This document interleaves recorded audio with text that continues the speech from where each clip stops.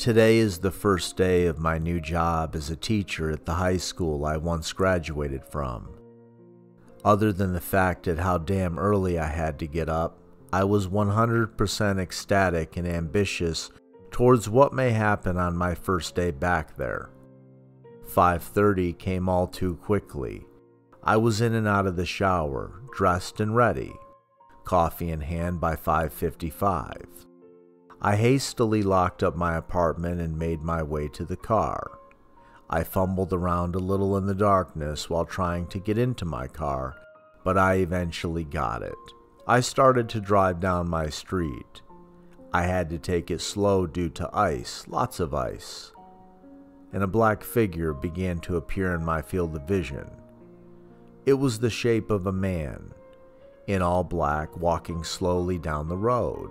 This struck me as odd. 6 a.m. and someone is walking? In this weather? It had to be at least 2 degrees outside, and this guy is walking.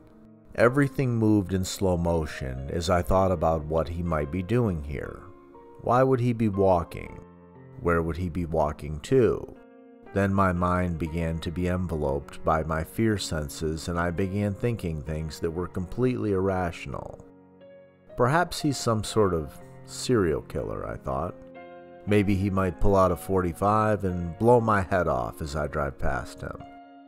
My mind continued diving deeper into these paranoid delusions as I drew closer to the mystery man, his form becoming clearer as I inched closer with my headlights. I could make out more of his form now. He was wearing a black work coat. It appeared to be dirty and covered in snow. He was wearing black pants and combat boots. The laces were not tied. A hood from presumably another jacket beneath the work coat hid his head from view. With a description like that, there were two possibilities in my mind homeless or crazy. Eventually realizing how insane I was being over a man walking down the road, I snapped myself back to reality and shook off my dreadful thinking. Listen to yourself. You're being ridiculous. I scolded myself. I couldn't 100% shake my uneasiness, though. However, I wasn't going to let a simple oddity like this drive me to insanity.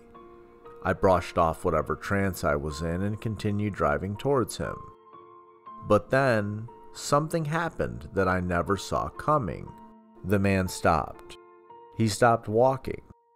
He stood there in my headlights, and as soon as I noticed he had stopped, I slammed on my brakes and halted as well. My heart began to race and my stomach did loops for reasons I didn't understand, but I do now. He started to turn towards me. He was going to look at me. As he slowly turned, my heart pumped faster. Then, to my horror, I finally saw the face of this man. If you could even call it a man. His eyes were shrouded in a blackness that was darker than the night around us. His white pupils glowed in the center of those pits as he stared into my very being. His nose wasn't there. In its place was a crude sewing together of the flesh around it, pulling his skin tightly across his bony face. His lips were non existent, revealing every single one of his jagged, chipped, decaying teeth.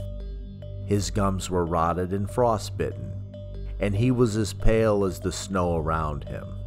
We made eye contact, and as we did, my heart grew to a pace I didn't think possible. I was certain I was going to die here, but my survival instincts kicked in, and I put the pedal to the floor. I drove right past him. But when I got within feet of him, he vanished completely, sending me into a head on collision with a telephone pole. I was sent flying through the windshield and into the snow below. As soon as I hit the ground, my body began going numb. My sides had a pain, my chest had a pain, and I had a shooting pain down my left arm. I again thought I was going to die there.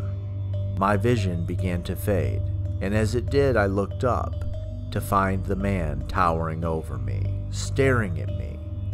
Then, everything went black. I woke up in a hospital bed the next morning. Apparently, the neighbors were awakened by the crash and found me just in time. When the police asked me what had happened, I gave them a description of the man. Of course, they thought it was some sort of hallucination. So here I am, sitting in this room. I'll be here for another week or so. I'm typing this on a laptop the hospital was so kind to allow me to use while I'm here. But I won't be here much longer. My friend came to visit me today, the friend I met that night. The friend who tried to show me the true world. He's here now. He's sitting next to me, telling me everything is going to be okay. He's my master now. I belong to him. He's watching me. He was always watching me from the day I was born until the day I die.